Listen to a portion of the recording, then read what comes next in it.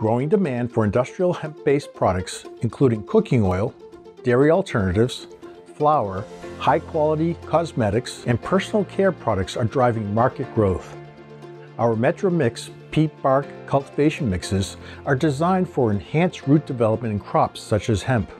And they are the only professional propagation mixes with resilience, our trade name for silicon, which is a beneficial plant substance that may result in earlier flowering, better root growth, longer time to wilt, increased stem diameter, and recover quicker from infrequent watering.